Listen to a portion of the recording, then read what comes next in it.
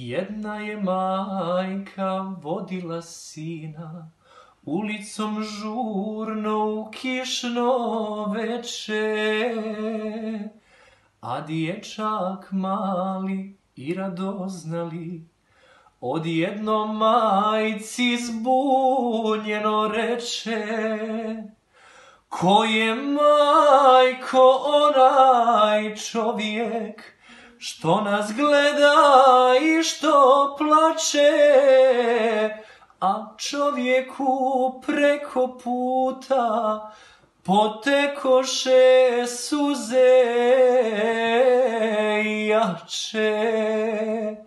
Davno ih je ostavio premnogo godina, a danas je eto sreo i ženu i sina.